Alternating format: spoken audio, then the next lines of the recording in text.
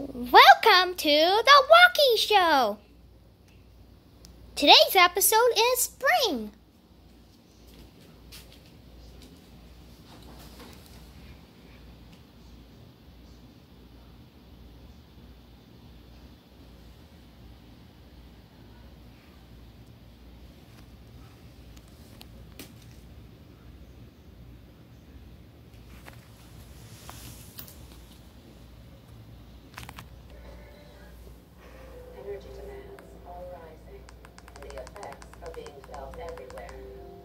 Why at Chevron, we're increasing production in the Permian Basin by 15%, and we're projected to reach 1 million barrels of oil per day by 2025, all while staying on track to reduce our carbon emissions intensity in the area.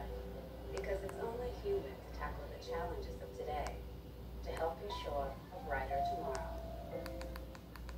When you have auto glass damage, let Safelite come